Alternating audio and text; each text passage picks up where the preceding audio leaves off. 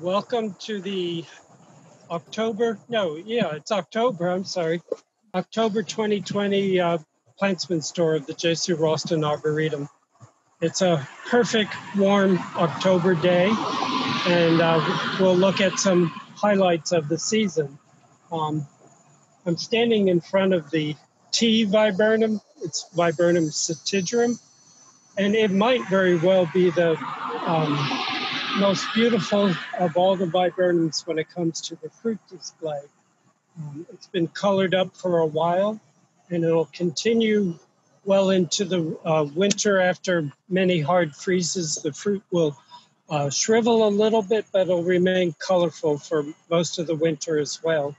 Um, it is deciduous.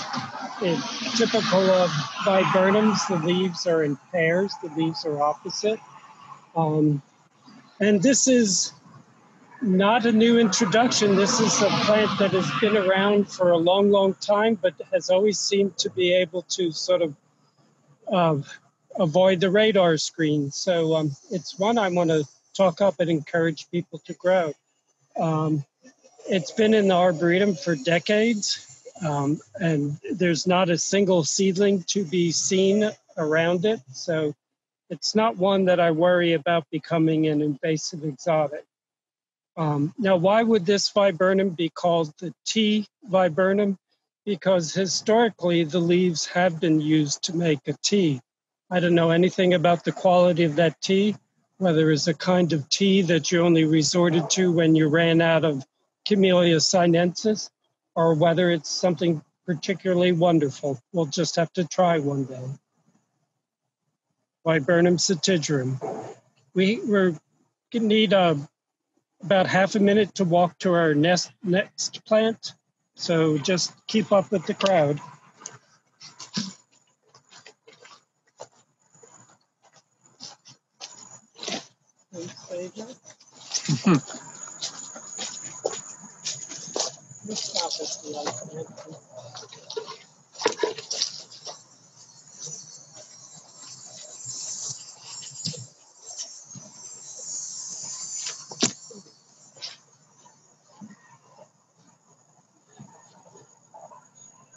Ready?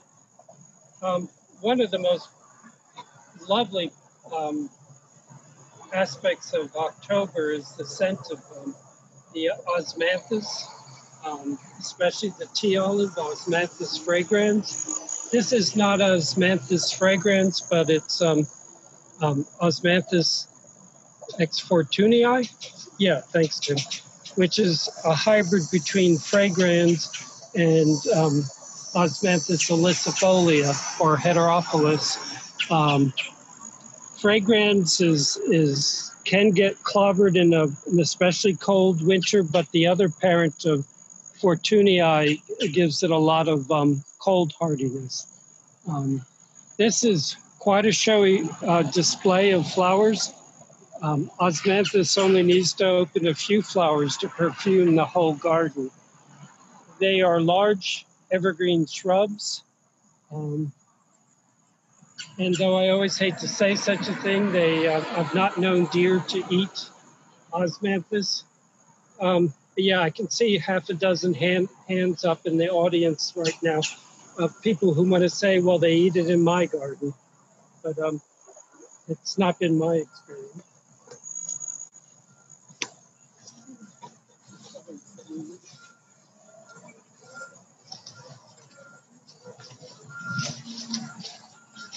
You want to peek at this osmanthus? Sure. Yeah.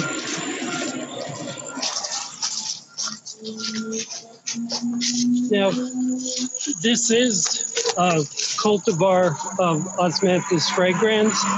This is um, apricot gold.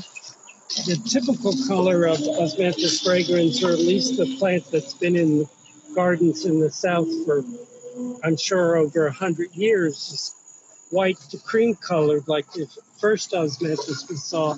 But in Osmanthus fragrans, they can also be orange or yellow. This one was better a week ago. The flowers are now turning brown um, and shedding, but most of them will have successive flushes of bloom. the best of them will bloom intermittently on and off through the year.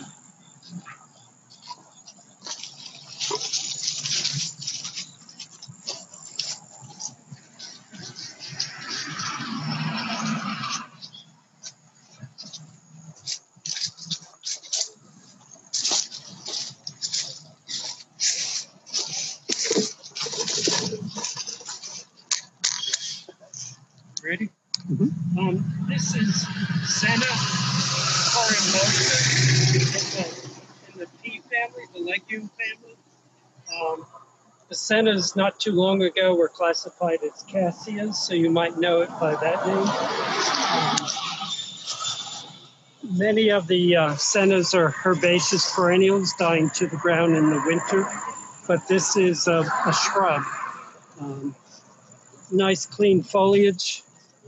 Uh, the sulfur butterflies, those wonderful yellow butterflies that are very evident this time of year, um, their caterpillars feed on sennas. I don't know whether they don't care for this species or because this species is in shade most of the day, they leave this one alone, but they certainly um, defoliated our Senna marylandica, the Ma- Maryland um, um, senna.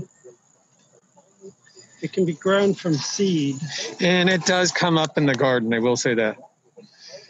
But it's easy to pull out. Yeah, and these late bloomers are always welcome when most other things are getting shabby and going by.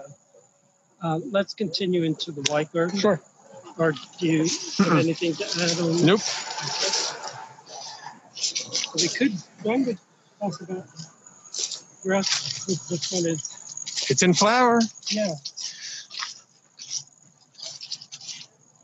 I'm going to come to this side just because the light's a little bit harsh. Um, there are grasses that bloom in the spring and the summer, but the majority of ornamental grasses bloom in the fall, and many of them continue to be showy um, through the winter months in their dried forms. This is a um, experimental selection of our native switchgrass, Panicum virgatum. Um, it's a large growing selection. There are selections of panicum that only get, you know, maybe about waist high or so. And this is just a, oh, I think they're about 18 months old, so Yeah. they'll probably continue to get bigger. And it's in full bloom right now, and the weight of the developing seeds and stuff is causing it to bow over. But once the seed is mature and dries out, they tend to stand um, more upright, and the panicums just look glorious all winter long. In late winter, you might, if you're around them, you might hear this popping noise. The seeds are expelled explosively, um, and our native songbirds make use of the seed. The panicums are clump formers, so they don't run around like um, some other grasses.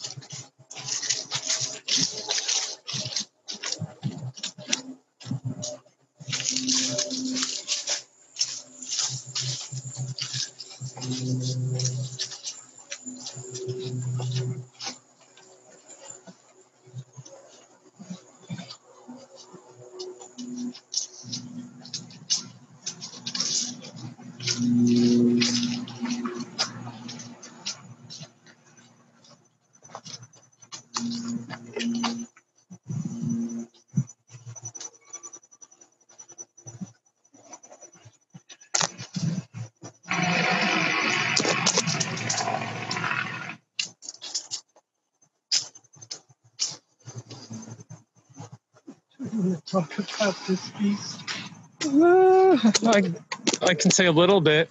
Doug asked me if I wanted to talk about this one. Uh, this is an Echinodorus. I can't remember the species, but it's uh, a, Bracteatus, okay. Um, Echinodorus bracteatus, Lantu beauty, I believe. Lental lady. or Lantow Lady. Okay, it's one uh, actually that um, our now past uh, friend um, Alan Galloway brought back from, think, the Philip- Philippines. yeah.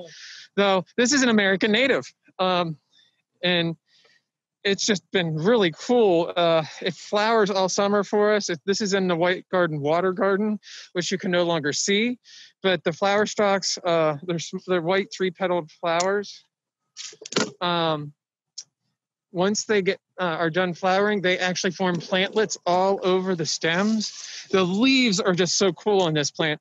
Uh, you surely can see the texture on these things already. Can you hear them? And yeah, exactly. Like Doug says, it's like plastic. Um, really cool plant for um, um, a moist part in your yard or a water, a small water garden. Uh, and then, like I said, the plantlets that form on this are really great. If you have an aquarium, um, this one might be a little bit big for it, but the thing that you might rem- uh, know is if you had an Amazon sword. That's another Echinodorus um, species. And there's all kinds of Echinodorus that are used in the aquarium industry. But just for reference, that's what the same thing is. And it's perfectly hardy for us, dies back through the winter, but then it comes back uh, with a vengeance through the summer. Just a cool plant. This is a former flower stalk. So every node on the flower stalk where there were flowers, they form this adventitious plantlet, complete with roots and stuff. So imagine growing in a marshy area, these flower stalks just fall over and root in, and eventually there's acres of it. But it, it is so cool for the texture in the garden. Um, now we're going to go somewhere else in here. I think Doug had uh, something here. Um, some of the summer plants are still going strong. Um, and this is a little known ornamental grass. Uh, for the longest time, um, we didn't have a name on it, but a member um, uh, identified it for us. It's actually the same genus as corn, uh, the plant that most of the world calls um, maize. Uh, the genus is Zea, Z E A. This is Zea perennis, referring to perennial. And though it is not winter hardy, it's a tender perennial, frost tender perennial. It is a, a perennial plant. And um, when it blooms, the inflorescence doesn't look at all like corn. It looks like a roadside grass that I've always known as shattercane, but I seem to be the only one in the universe who knows that roadside grass is shattercane. But um, it certainly looks like some of the variegated uh, seed strains of the true corn um, maize, but whereas they um, almost right away bloom and set seed, uh, this uh, just keeps on getting better all summer long. Oh, Tim found an inflorescence. Good. I didn't even know it was still in bloom. Um, can I hold it in? Sure. I'm not sure if I can get it to come into focus, but we can see. Oh, okay. Well, um, this is a young inflorescence. It's sort of like the tassels of the corn up top. You have male flowers up top and um, female flowers down lower. You can see the stamens dangling out and the uh, stigma on the female flowers to capture the falling um, pollen. And then the, the fruit, the, the uh, grains are, are cylindrical and stacked one on top of the other like the roadside grass shattercane, and then when they're ripe, they fall off. I don't know that um, we've seen um, ripe seeds on um, this um, corn, but a great um, summer foliage plant.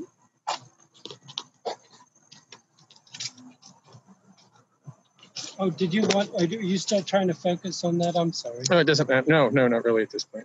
Okay. It might that might have been better though. Yeah. We saw it really clear, Tim. That's good. And I always thought that plant looked a little bit like corn. Um, the uh, Japanese anemones, um, anem- most of them are hybrids, so they're anemone uh, hybrida. Um, this is one in a series, the Pretty Lady series, uh, Pretty La- Lady Maria. It looks a lot like the old cultivar Honorine uh, Joubert. But Honorine Joubert is about five feet tall and usually doesn't manage to stand up. Um, this is a, as quite a full of flowers Honorine Joubert, but it's nice to have these uh, three foot tall flower stalks um, that are standing upright. And they're um, a great perennial for the shade garden, for the lightly shaded garden. Um, they're not especially happy out in, in, a location where they have full sun. Um, they also come in light and dark pinks. The foliage is handsome most of the warm growing season as well.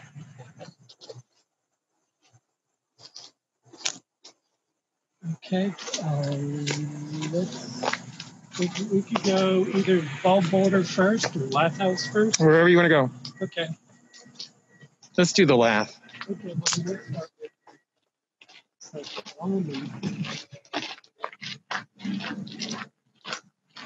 and if you see anything along the way, it has to be right in front of my face. Actually, I can see. But... Oh, you know, I'll, I'll talk about that. The, and I this plant right here, I found, I love that. Oh, I meant I saw that yesterday. Yeah, we'll talk about that. You'll have to remind me. Um, well, let's start with the non-cyclamen and then jump back to the cyclamen. Okay. Um, so I'm gonna undock here just a second. I found the last weed in the arboretum. um, beautiful foliage. Uh, you know, we all love flowers. Flowers come and go, but plants with beautiful foliage are um, can be add a lot of beauty to the garden for months and months. Um, this is what we would generally call a geranium, but it's not a hardy geranium in the genus geranium, but it's in the genus um, pelargonium, which is the same as the um, uh, zonal geraniums, those old-fashioned um, geraniums that everybody planted in big pots for Memorial Day and took out to the cemeteries. But this is an African species, um, Pelargonium um, transvaalensis, and the um, cultivar is African princess. Um, you can see on this plant, it's starting to put up flower stalks. You can see the flower buds, but um, they're not yet blooming. But you know, I'd grow that plant certainly just for its foliage, gorgeous foliage. Um, and going from one house plant relative to another. Um, this is the the house plant known as spider plant is in the genus Chlorophytum. This is another species of Chlorophytum. Is it capense? No, this I th- is this um darn. Yeah. Oh, is it Balkeri? That sounds right. I think it's Balkeri. Yeah. Um, it's one that's been reliably winter hardy, just starting to bloom in uh, late September. It, will it'll continue blooming up t- until a hard frost. These big candles of white flowers. See, the foliage is much like a spider plant. It does not produce spiders, though. no, no, it doesn't. It doesn't make the little airplanes. No, it doesn't but it, it, makes a beautiful statement. I mean, if you want something upright for late in the season, the flowers open in the um, mid to late morning and they go into the evening. I wonder if any of the Echeandias worth looking at. Uh, no. Well, okay.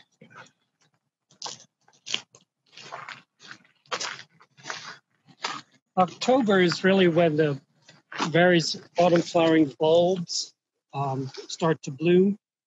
Um, certainly, uh, cyclamen are one of the highlights of the fall bulb display.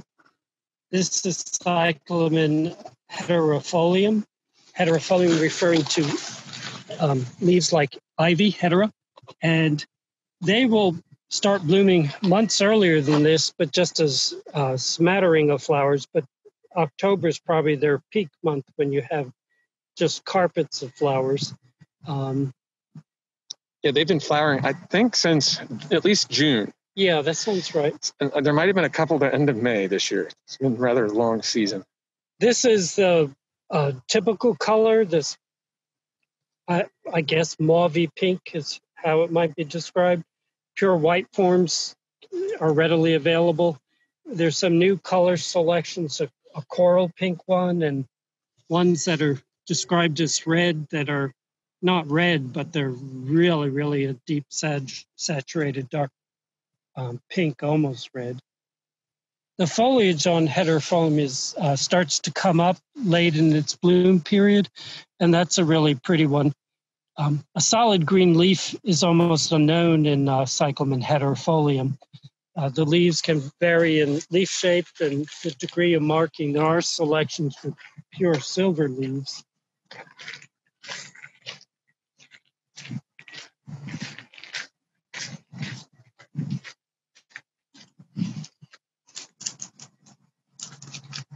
This is um, Cyclamen graecum from Greece.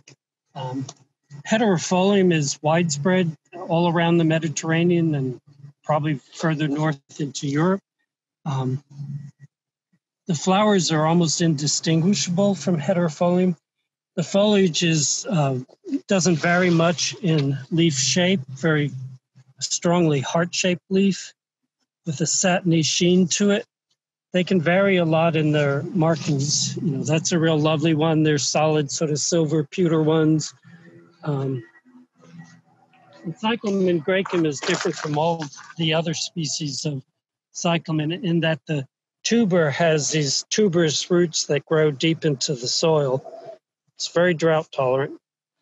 The cyclamen are are good for those um, shady spots that are dry in the summer when they're dormant.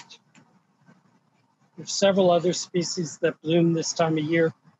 I don't think we'll see them today, Cyclamen mirabile and cilicium. October is also when we start to see the fall, the true fall blooming crocus, but I went looking yesterday and didn't find any.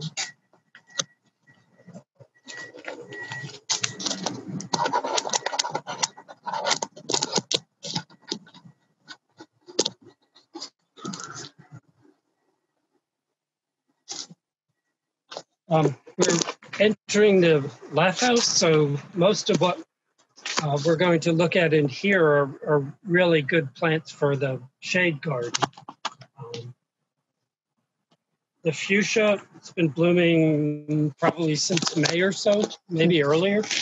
Um, and it's it's not at its peak now, but it has been blooming its head off.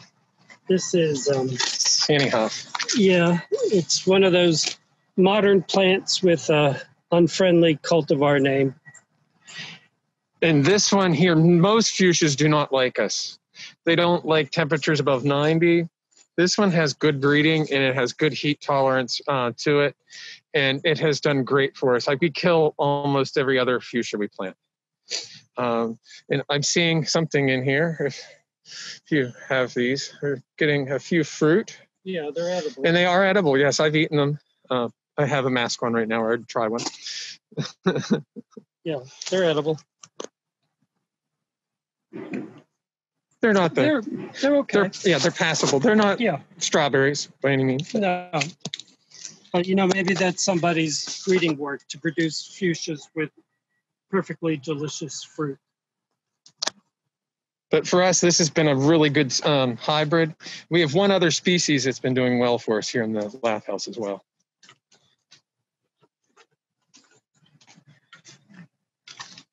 Everything has stripes right now. So uh, in here. Where can you find that fuchsia? I've actually bought that fuchsia at Plant Delights, and I think I've seen it at Big Bloomers. Yeah. that one's becoming much more readily available for us here. That one is readily available. Um, it, it, I'm always amazed at how new plants seem to come out of nowhere. And more, there are more and more hardy uh, Gesneriads. Gesneria, the Gesneriaceae is the family of African violets and gloxinia and, and uh, you know, generally plants that we grow as houseplants, but there um, are more and more that are proving to be winter hardy. And this one isn't one that is a new introduction, but it's really at its best this time of year. This is Titanotrichon, oldhamii. Um, I haven't looked up the meaning of titanotrichon. Titan would refer to big, and um, trichons are hairs. So apparently, this has big hairs on some part of the plant. There's hairs all over the leaves and everything. Yeah. I don't know that they're bigger than any other Gesneriad. Yeah, the leaves are sort of rough with hairs, but it's definitely a shade plant. Um, it's been blooming blooms for an extended period of time. You can see this whole part of the inflorescence is already done blooming, and now it's blooming on these side branches. It is a herbaceous perennial that disappears in the winter, but um, anything that blooms in the shade in the fall is really valuable. Tim and Doug, Yeah. Going back to the fuchsia, Paul was wondering how it would do in Brunswick County. I'd say it's worth a try. Um, they're they're even warmer than us at night in the summer. That's the key thing that can kill the fuchsias. But I mean, if there's one to try, try that one, that Sandyhoff. Is, do you think this is blooming later than normal because it got pruned? No, Okay.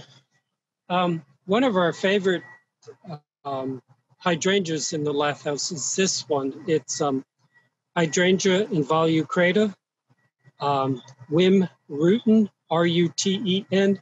It has the trademark name of Blue Bunny. Um, we enjoy it even out of bloom because the foliage is big and bold and clean. And then in bud, well, here, yeah, Tim's gonna actually, there's one back in here that's Yeah. it's even The tighter. buds are fun too. These very globular buds with very um, prominent uh, Bracts. cracks. Yeah, they look And- like a peony bud to me. It- yeah, it's in, it's hydrangea involucrata because an involucre is a whorl of bracts, and that's exactly what you're seeing when you look at the unopened bud. You see that it doesn't open all at one time, so it is, it's in bloom for a long period of time. And it does so much better for us than asperas, which we can grow here, but they don't flower reliably. This flowers on new wood each year. Uh, so if we have a hard winter, the involu- or the asperas don't flower, but the involucrata does, and it only gets uh, four to five feet tall. Uh, while the involu- or the asperas, they might get six or eight feet tall, and you're not going to flower on them.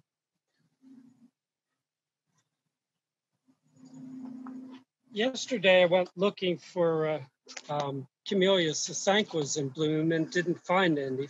Found uh, many examples absolutely loaded with flower buds, but um, this is Camellia sinensis, uh, the source of teas in southern table wine. Um, it is a fall bloomer. Um, it gave originally it was in the genus Thea, but then uh, taxonomists realized it needed to be lumped with all the rest of the camellias. So it's now Camellia sinensis, but the T name remains in the name of the family, the Theaceae. The first name genus gives its name to the family uh, family name, and this is a large-leafed tea. Um, some of the cultivated forms have much smaller leaves. And it's Camellia sinensis is the source of green, black, and oolong tea. It just has to do with how the t- leaves are handled after they're harvested.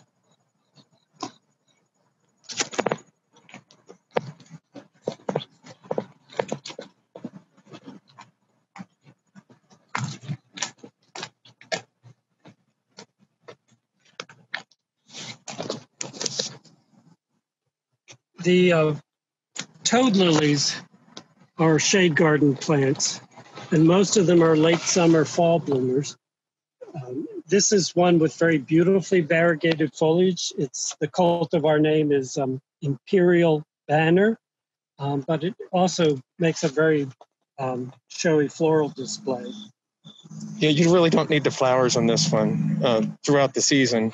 The foliage does start to look a little shabby at this time of year, but the flowers then distract you from that. So, uh, but up until that point, you have wonderful foliage.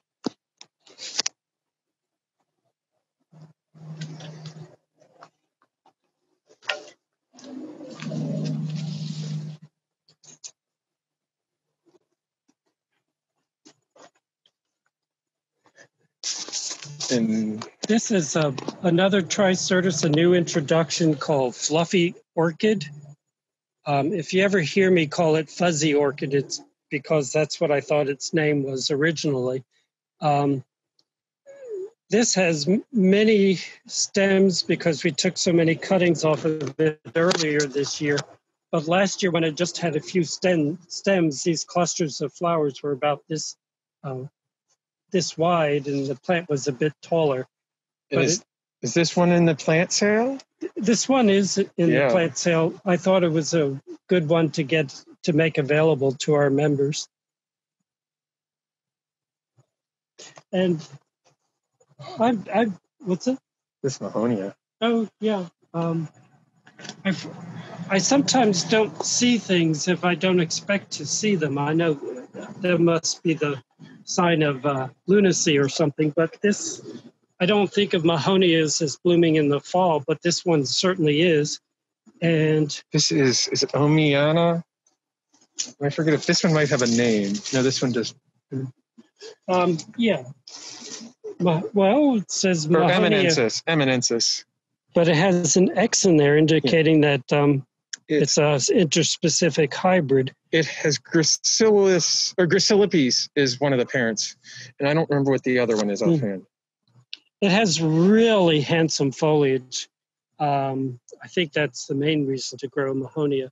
This floral display is really nice, and I think you're probably seeing in uh, Tim's filming that um, there are lots and lots of honeybees visiting the flowers. trying, but it's not focusing the way I'd like. It has a light fragrance. It's not super fragrant like some of the winter blooming ones, but a nice sort of amber and and yellow flowers. The I'm guessing the um the bra- the oh the sepals Yeah. are kind of a copper color to them, and then the the inner petals. I don't know if you can see it. They're actually pale yellow, so that's what gives it that color. Um, and it's I don't know how old this plant is. Um, we've probably had it seven or eight years. Its accession it was received in 2013, Okay, seven Um, years. so it's it's about um, three foot tall, so not a overly large growing mahonia. There's a, an unnamed clone over here, similar color, but it's a little bit more grand looking. Doug and Tim, It's the same species. Yes. that plant was received in 2013, planted in 2015, and it was received as a one quart container. Okay. Um, we're standing right here, so we might as well talk about um, hardy begonias. Um, this one that you see in the camera is, um, oh Lord, it, it has it's a French cultivar name, Yeah. Cote de Castille, Castillon, Something like that. Castellon. You're better than Um, me. Top of the foliage is sort of a grayed burgundy, but look the way the sun shows off the underside of the leaf. Now, um, all of these got planted a year ago, so they've gone through one winter. Um, the Cote de Castillon um, is one that Plant Delights has found to be reliably winter hardy. This little beauty, um, little brother Montgomery, um, is supposed to be less hardy, but it, it did come through last winter, but um, might not a very cold winter. I was actually, you planted them relatively late last year, I think. And I thought, oh, those are not going to make it. Yeah. And they made it. This uh, big robust one is pewterware, nice sort of silvery leaf with fairly red underside.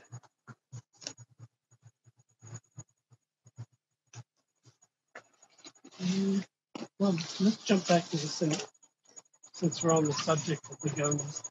Of course, the most cold hardy of, of the begonias um, that I'm aware of is Begonia grandis. It's been in gardens for for several lifetimes. Um, it's past its peak of bloom, but it blooms for a couple months, starting in late summer, continuing into about now. Um, We didn't, oh, I'm sorry. Go ahead. we didn't actually plant this one in here. It was a tag along plant.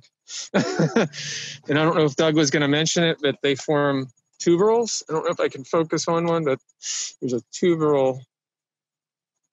The tip of my finger here. Yeah, they're tiny little uh, bulblets essentially in the leaf axils, and they'll drop off and come up a lot like the bulbils on a tiger lily.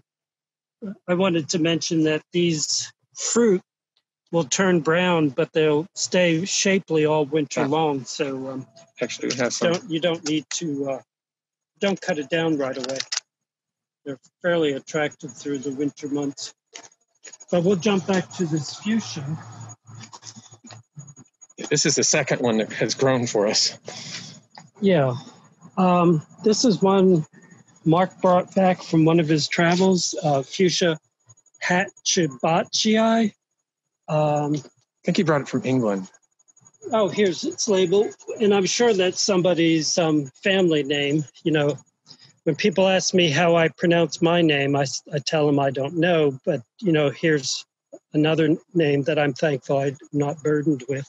But um, so many plant names are just people's names, so maybe we don't need to be quite as scared about them. I should have grabbed flowers off the other, but you can see this is a much longer flower with very narrow, I guess those would be sepals, the outer mm-hmm. whorl, with the purpley violet uh, petals in the center. But it has, again, this one hasn't been phased by the weather we had this summer that some often kills fuchsia. Yeah. Should I talk about Bomarea? Sure.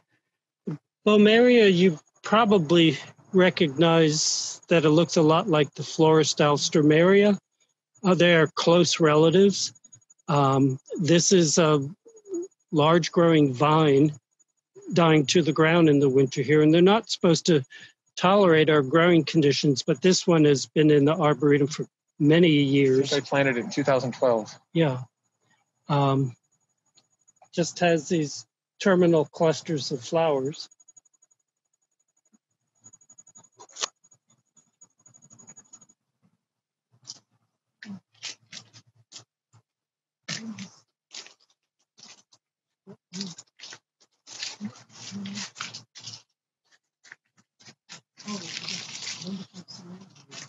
Seemannia.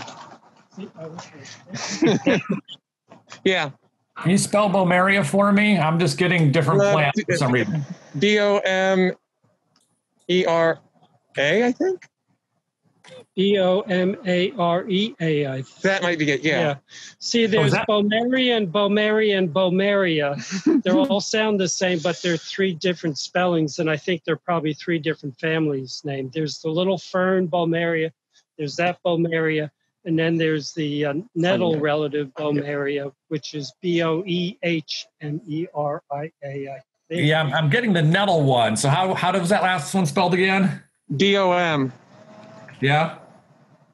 Um, E R E A. Yeah. Okay. Mario.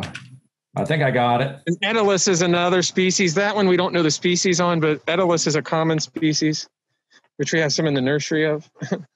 we saw the um, Titanotrichum earlier, the African violet relative with the big yellow foxglove like flowers.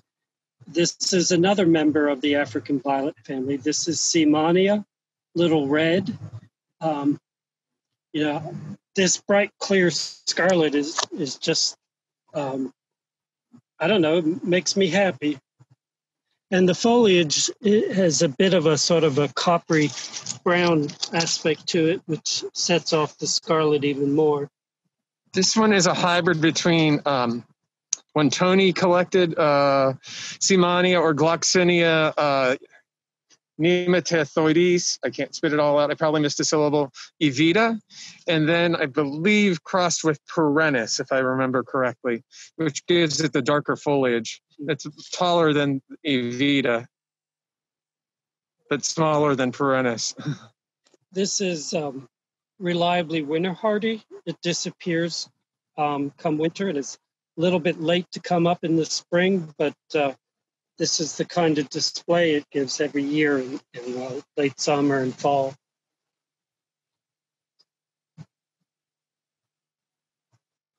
what is the little fern Bommeria? Uh, how's that one spelled? Uh, I don't know. Why did he just is is he in file? He must be in FileMaker. There's one on the uh, in R twenty three. Yeah. Uh, well, I'll look it up. Yeah. He could just put Theo in. Uh, what what bed is that? L. Oh, he he got the spelling for that. Okay. He was trying to find the fern name. Why?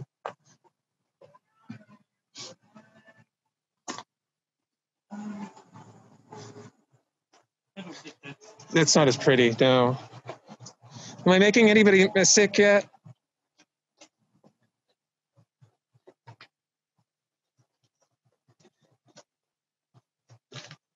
Just a little, Tim, but we're having a good tour.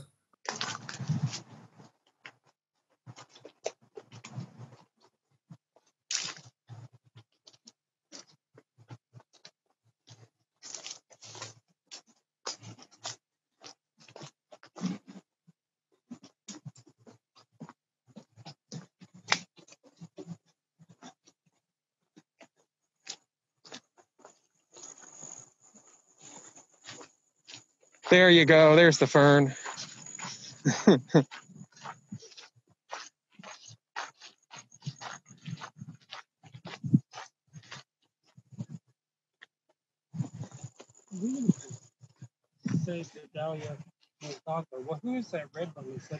That is um, translates to Red Riding Hood. It's German. I can't spit its name out. Tell me when you're ready. Let's see here. I'll actually put this on the tripod so I'm a little less motion sickness for you. Okay. Um, dahlias do grow in this climate. They will bloom fairly steadily all summer, but they are at their best in late summer, early fall. Uh, they just freshen up, and uh, the flowers are bigger and more colorful. Um, Tim, I don't remember if these got cut back hard. I uh, we did a little bit of a light cutback this year. I didn't get a real hard cutback. Yeah. But. If if your dahlias have bloomed all summer and they look a little bit shabby, come maybe about August or so, you can cut them back hard, even to the ground, and they'll put up new growth and be um, all that much more, all that much fresher. Um, most of these are volunteer seedlings. These singles are very fertile. Um, you might notice there's bumblebees and other pollinators visiting them. Yeah, the, uh, we started with um, several of the bishop series. Like I think this is actually Bishop of Canterbury. I think still, and there's Bishop of Llandaff over here. Uh, oh, and I'm in the light for it, but that one there. Um, and there's Bishop of York somewhere in here, but uh, they've all crossed out, and we've gotten some spectacular colors over the years that have naturalized in here. Almost all of them are single, though there are a few semi doubles. And no, we do not dig these up. Yep. okay.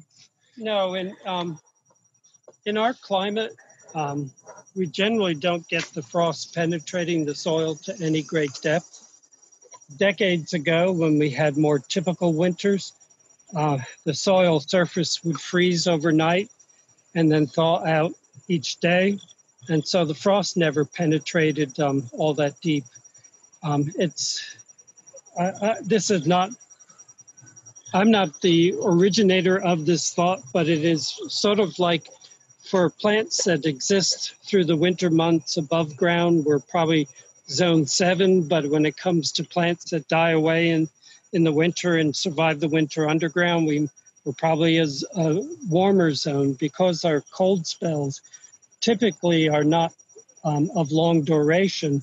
Frost doesn't penetrate the ground, so a lot of things survive underground that might not if we had long, cold zone seven winters. Are there any dahlias that do well on the coast? It seems like we're really kind of too hot to really get anything that's sizable. Um, I, I worked in Fort Valley, Georgia for three and a half years, and that's zone eight on uh, just below Macon, so just be, below the fall line, but on the coastal plain. And there was somebody in town who grew dahlias for exhibition, so it's possible. Will they ever be the top quality of um, dahlias grown in Michigan? Probably not, but you know you'll probably get enough pleasure out of them here in the border, I find the dark leafed ones do better for us through the summer months because um, uh, they'll start flowering in mid to late May uh, here typically and do a good flush in through June. Then they say it starts to get too hot and they, they take vacation. The green leafed ones will often go dormant totally for us and die to the ground. Well, most of the time, the dark leafed ones stay up. So they seem to be more heat tolerant to me. Um, that's just an observation, but they might. So you might try some of the dark leaf forms. Uh, the karmas are a, a pardon. I said, will do. I know every time I go ahead and judge at the Dixie Classic, I'm just in awe at the size of the dahlias that I, I see there uh, to judge that, that I, are there at the show. I don't grow any of the dinner plates. I like the singles. Um, and the uh, flowered ones. And so we don't have any of the like the anemones or anything. We just have a handful of double, smaller double decorative type. Uh-huh. Um, but the singles do best for us here, I think. Okay. Tim and Doug? Yes. I don't know if you saw that comment, but Steve just mentioned that the Joey and Karma series do well in warmer climates. I don't okay. know if you have any comments on that. Those are green leafed ones too. Uh, at least the Karma is, if I remember correctly, but you could try those did Chris say the Karma and the Joey? Joey I don't know Joey, Joey at all. Heard of Joey. Certainly know. maybe from Australia. Um, Steve spelled it J O W E Y, so maybe I'm pronouncing it a little bit off. No, okay. Still doesn't ring a bell. Yeah. Uh, Tim mentioned the dahlias with dark foliage. Um, Japanese Bishop and Bishop of Llandaff are two old varieties, both of which had um, uh, dark foliage. Bishop of Llandaff had dark foliage that was dissected like that. flowers were much that color, but you see the foliage itself is ornamental. And um, a really wonderful thing that dahlia breeders have done in recent years is to breed dahlias that stand up. If you've ever grown some of the older, larger flowered dahlias, they're really um, almost don't stand up at all. You have you've seen the dinner plate ones grown on stakes like they were tomato plants or something. So the Karma series is one um, that um, stand up really good, and um, you know if you go into a mail order nurse mail order catalog selling summer bulbs, you'll find a lot of really good dahlias that were bred for sturdy stems. One, it's right in front of Doug. Actually, is that it's a the bright yellow one, right there. That I think is a remnant of one called Mystic Illusion. Is the trade name? It's Knockout is the, the cultivar. It's some from breeding in um, New Zealand, and that one's been in here since 2007 I, or eight. So that one's been persistent, and I love the luminous yellow color against that dark foliage on that one. And I think Doug's going back in. He's going to one. It's a coccineum or coccinea. I can't remember which one or the other. Coccineus. Um, it's a species. Uh, it's a small flowered red one. It's kind of. It's much more open. It's really. It's more delicate. It's kind of cool looking. It's, it's one of the. I don't know how many parrots are in the background of the garden dahlias, but Dahlia coccinea, coccinea meaning scarlet, It's one of the parents. And, uh, the plant is usually five feet tall. Um, I think we might need to revitalize it this winter or next spring. That's a mighty fine, nice. This one here. This is a seedling. yeah. One of my favorites is actually over here. Is this? Oh, this one here. That one's been here for several years, probably oh, eight or 10 years.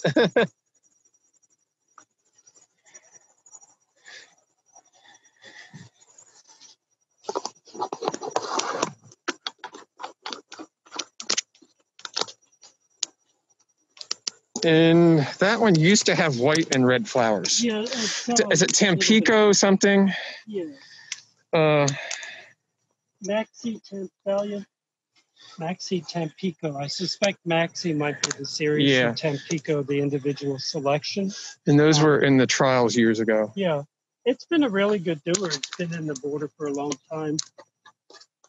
Compact. Uh oh. It's a Am I still there, Chris? You're good. Okay, I bumped something on my phone, and so the screen went dark. But I think it was the um, m- my helper on the phone. and then we have a little dahlia that, that might may or may not flower. towering above this um, now fairly tall dwarf crepe myrtle with this fine dark foliage is Dahlia imperialis, the tree dahlia. It usually blooms late enough that the flower, flower display um, doesn't amount to a whole lot because usually we have a hard frost about the time it's starting to bloom. I think it would be a good one to plant under some very highland loblolly pines or something because that little bit of evergreen cover would protect them from the lighter frost. If we get if it doesn't get uh, terribly cold, it flowers in mid November. One year we had it flower for two weeks, and that was about that's the longest I've ever had it flower. Sometimes the flowers are just opening and they get frozen, but it is a cool statement of a plant for the back of a border. And you might think it has gigantic flowers, but it has these big sprays of flowers about the same size as a lot of these singles. Um, talk about the ginger. You go ahead We could talk about this ourselves. Oh, it, they look terrible.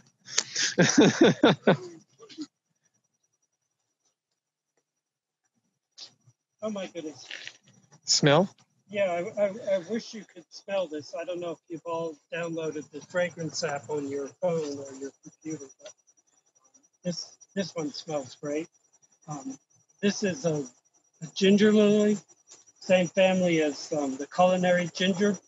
Culinary ginger makes a carpet of little flowers at the base of the stems, so they're not very showy. But the hedychiums um, have these terminal spikes of flowers, much like the canna. And this is one, um, it's Dr. Moy.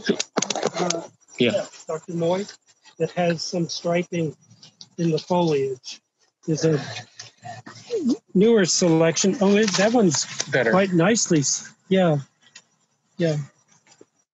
But they grow from a rhizome that looks every bit just like the culinary ginger and spread fairly steadily.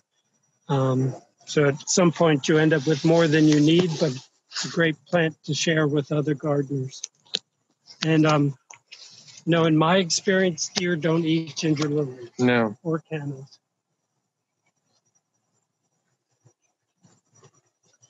You want me to talk about that one then? You're welcome to. Whatever. Yeah, this is one. This is for this year. This has been a great plant, and I love oxalis. Um, this is, I think, a triangularis. This is Mike, M I J K E. Um, there's several.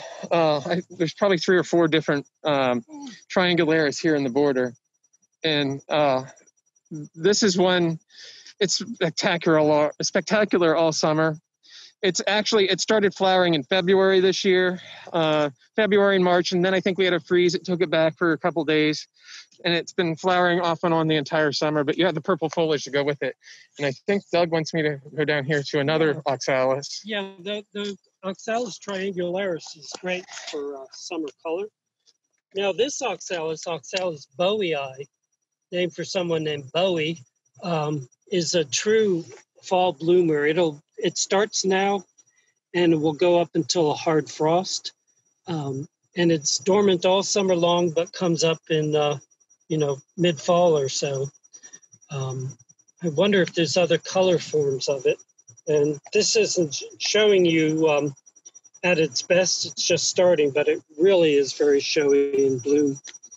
We might as well mention the iron while we're here yep This is another oxalis. It does have coral pink flowers, but it's grown more for its foliage. It's the iron um, iron cross oxalis. I think it's oxalis uh, Oh, is it tetragona or yeah, that sounds right. the, they has it's gone through a couple different or tetraphylla. There we go. Thanks, Chris. Four leafed. Yeah, it's four leaf like a four leaf clover.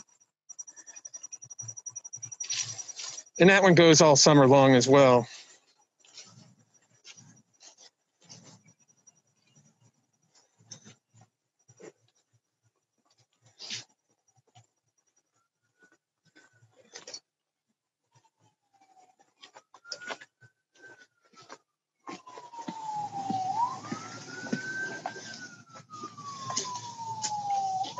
Um, this is a spiral ginger. If you look at the stem, it grows in a spiral ha- uh, growth habit. Um, it used to be in the ginger family, but um, has been separated out into its own family. Um, the genus is Costus, C O S T U S, and the family is the Costaceae. Um, it's uh, has these small tubular flowers. There's not one today that's in perfect shape, but I'll pick this one. It's just a small tubular flower. Um,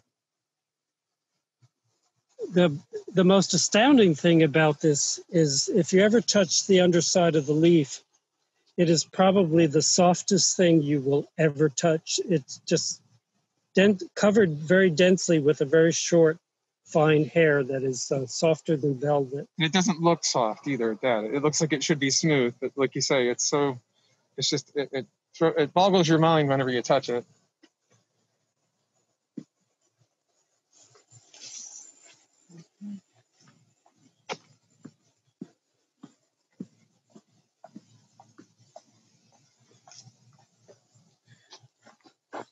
the uh, hardy citrus are loaded with fruit as they do pretty much every year. Um, they get their hardiness from the trifoliate orange, which is not a citrus, but in the genus Poncirus, Poncirus trifoliata.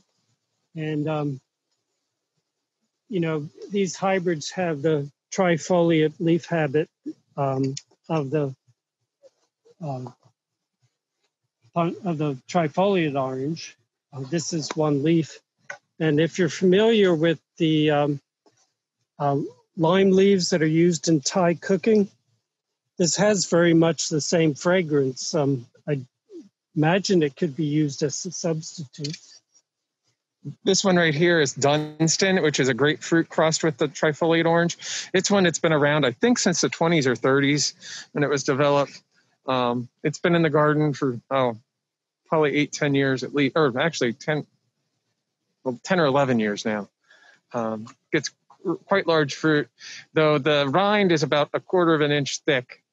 Uh, and so there's not as much flesh in there. It can be eaten. It's a little bit bitter. And then next to it is one we received as a hardy orange times a sour orange. Um, but it looks a lot like a lemon. And I've used it like a lemon.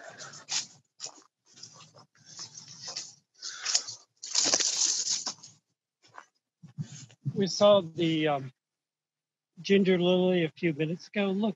Um, Yep. Oh, this is the. Uh, That's that little one. Yeah. That died to the ground.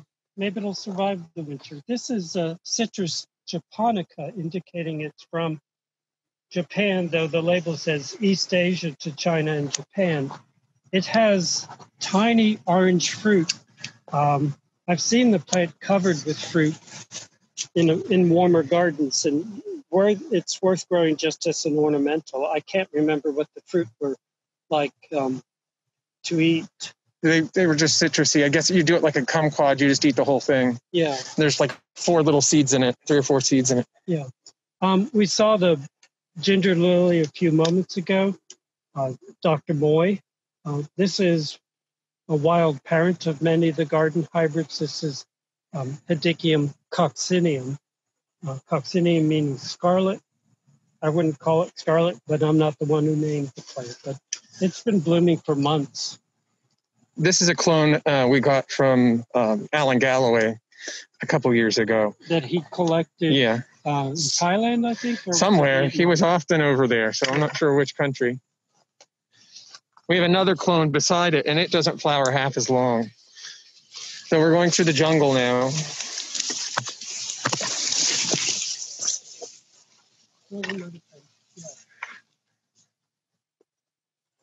And very, very similar to uh, Hedychium coccineum and um, probably an offspring of Hedychium coccineum is this large late blooming ginger lily called um, Elizabeth. It's a reliable winter hardy one for, you know, early fall floral display. It's fragrant. Yeah. Um, Coccineum's not. Other day that this alpinia or ginger down here uh-huh. blooming. Yeah.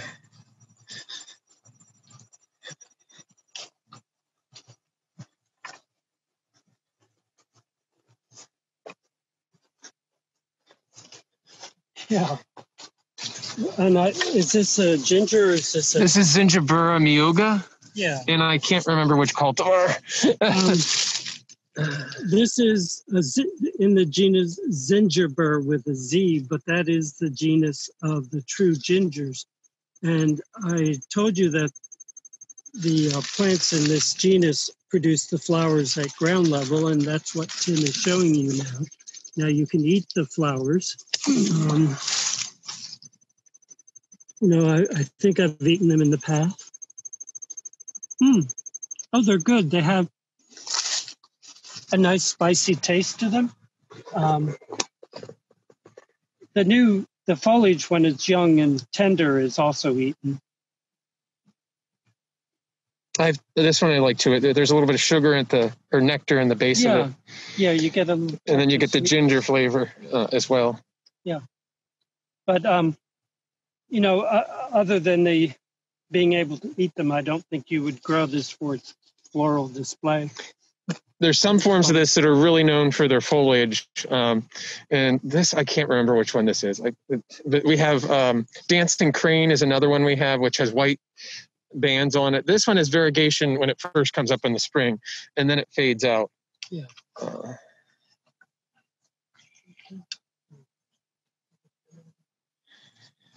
I don't think there's any flowers right now, no. but we do have basjoo. Yeah. Um, most of the bananas get gigantic, but this is the um, hardy, the Chinese yellow flowered hardy banana. And you see, I'm just shy of six foot, and this is a, but a few inches taller than six foot, so it's a smaller scale banana, though given time, the clump gets wider, but it doesn't run around the garden. The inflorescence on it is really cool. It looks like a giant yellow artichoke. Bright, bright yellow. And often before it leaves out in the spring. Yeah. Let's go look at some carrots. You say carrots? Yeah. carrots. I always have to repeat myself when I say carrots. C A R E X. Everyone thinks I'm saying C A R R O T S.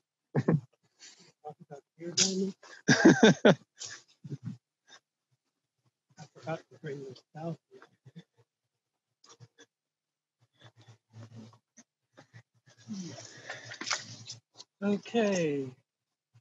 The uh, Carex family, the sedge family, is a large family in a lot of ways similar to grasses. And in the genus Carex, plants tend to fit in two uh, disparate groups. One that love boggy sites, generally in full sun, and then woodland natives that often are very drought tolerant. But one thing that's typical of the genus Carex is that we don't usually think of them as being colorful or even showy in bloom, but this is an exception. This is um, Carex scaposa, which is a Chinese species. Um, just recently, you know, within the last 10 years or less, entered the uh, U.S. nursery trade. And um, rather handsome uh, foliage plant. It's largely evergreen and it'll have flowers periodically, but this fall display is the peak of its floral um, display. So a, a fun addition to the woodland garden. You see the plant is, oh, about a f- foot high, maybe a little bit more. It's, it's not a runner. Um, Nice clumps. Many separate plants. See, this is one plant. And they're about two years old now. hmm So Oh. we We might not be able to stay here long. Sorry, uh, I'm getting eaten alive as Doug's talking, so how are we doing for time? it's a little after two, Oh, okay. two ten. Yeah, well. Um, Chris, it's a little after two. We usually keep these to about an hour. About an hour and a half, but it's up to you. We did just have a question from Robin. She's wondering what Carex likes at wet and sunny. If you have a recommendation for her. There's an almost endless list of um, carrots that like wet, sunny locations.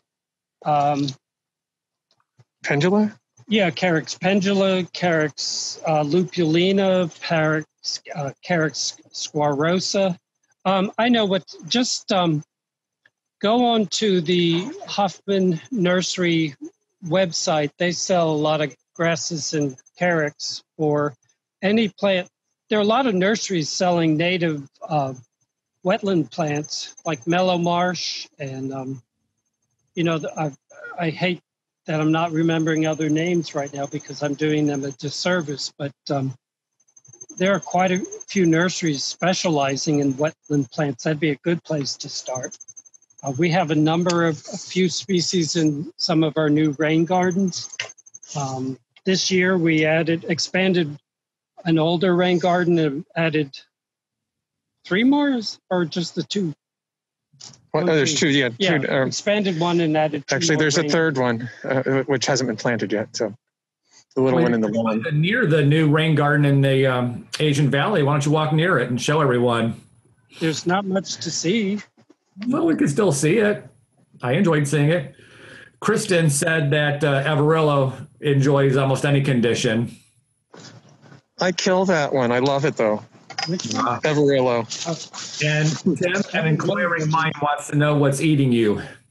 Mosquitoes. That's what she was thinking. Yeah, um, And someone has asked, what is a good time to divide hedychiums? She has some outgrowing containers. Oh, well, um, are reliably winter hardy in this area, or well, uh, the ones that are winter hardy are reliably winter hardy in this area. Um, but I, I think if we had a cold winter, only the well-established ones would come through the winter.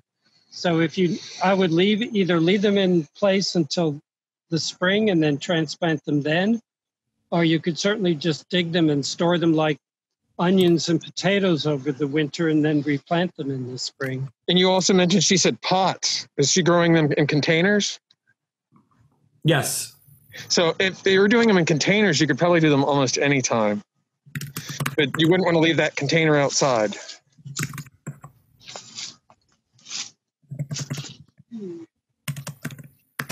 Um,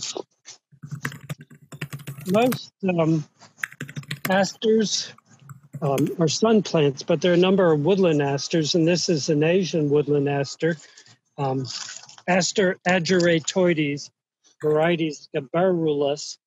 Um, and it's a great big robust thing. This is a very shady and dry spot, and it looks just great in this location.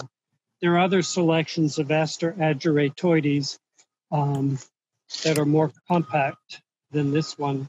Um, and all, I think all of our native asters are no longer in the genus Aster. And taxonomists, I'm convinced, have a rule that if you change a plant's name, the new name has to be large and user unfriendly. Hmm, so hmm, hmm, our, our native asters that used to be in the simple and descriptive genus Aster are now in genera like Symphyotrichum and um, Arabia. Eurybia. Yeah. and what what is the climbing aster? That's Uh. Ampelaster. Yeah. Yeah. There's lots of it. Uh,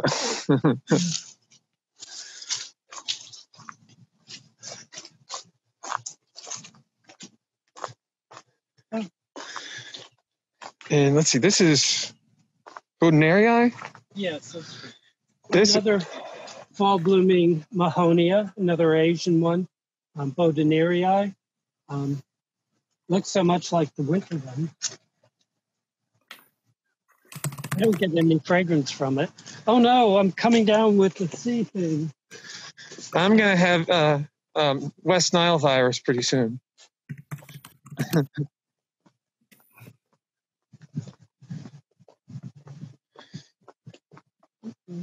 this is the one new rain garden, which doesn't look like much yet. Yeah, it was. This rain garden was created in July um, with the help of our summer interns. Um, most of the plantings are more recent than that. Some things haven't liked being transplanted, but I, I think they're still alive, they'll regrow from the ground. Um, we also need to do some research as to what um, Asian plants are suitable to a rain garden.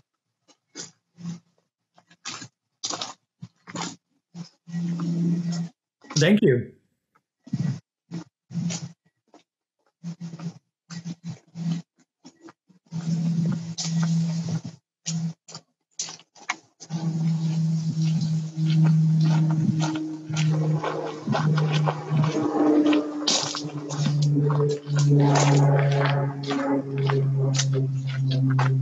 Mm, can smell the citrus. Oh, we might have see. We saw the hardy citrus.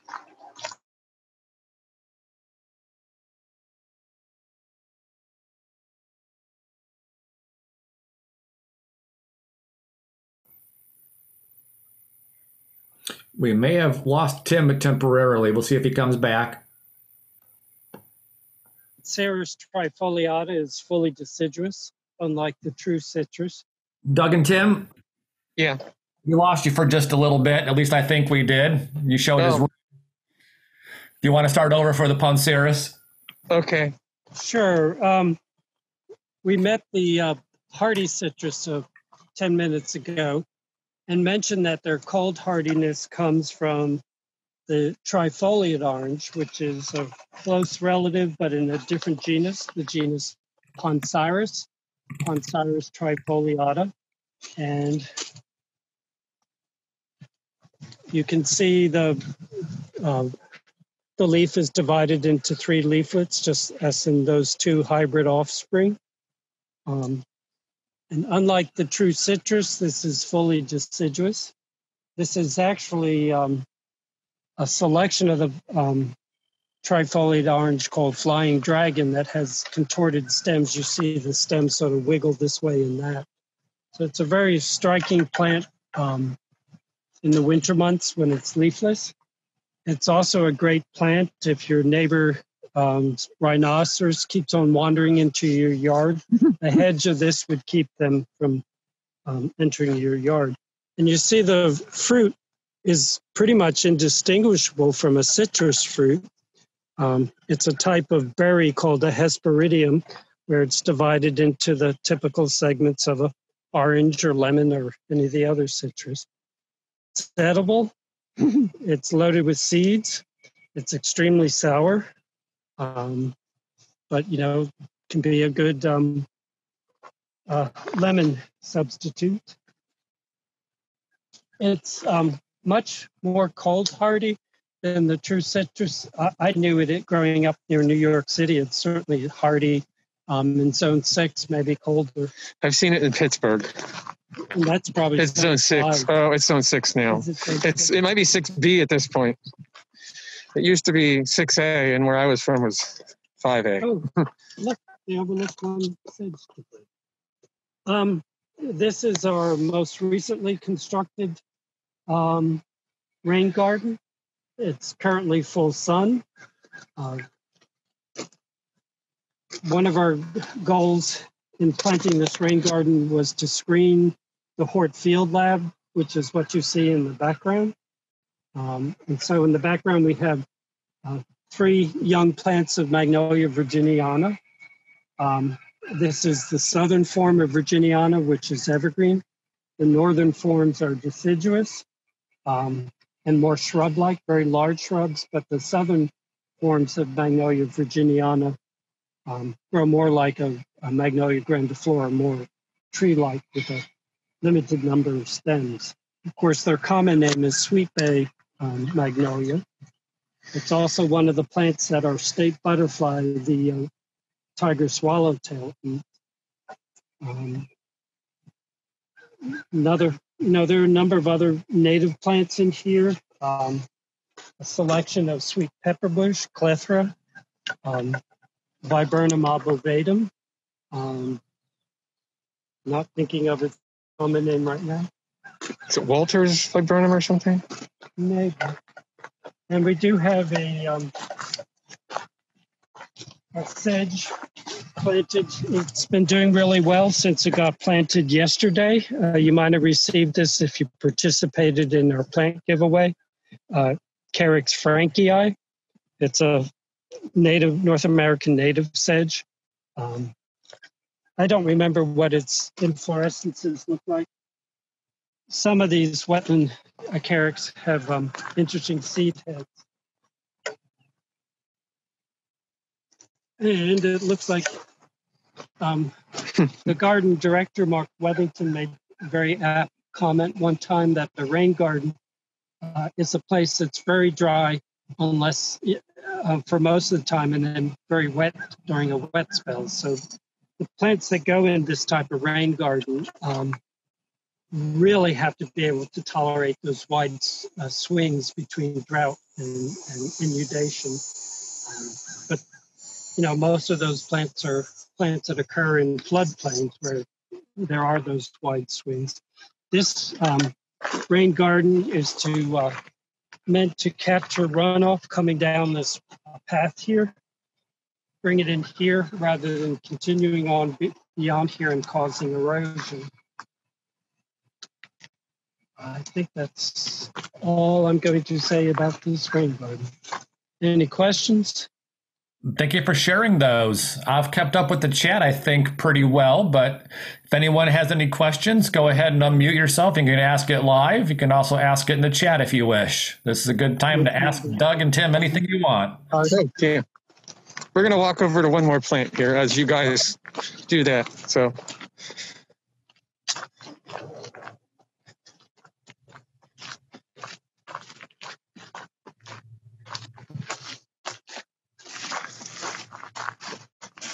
Okay. Um, Oh, I noticed this in bloom from a distance um, when we were standing by the rain garden. This is Aloe um, maculata. The cultivar is Fort Worth. It came through its first winter last year just fine. There were additional plants up it, uh, of it up on the roof, but they died. I'm not sure it was entirely a matter of um, this site being more protected than up above. I, I think some plants don't like the super lean soil up on the roof. Um, these have looked great. Now, last winter wasn't that much of a test, but um, it went through last winter. Certainly showy this time of year. And um, this species, I think, used to be called Aloe saponaria, Yeah. the soap aloe. I guess the, I'm guessing that maybe the juice of the stems was used, as, you know, like to create a lather. But the the inflorescence certainly is showy. And it, did this one flower last summer or did it flower this spring? Um, It seems like it, flowered one I other think it flowered earlier this year. Yeah.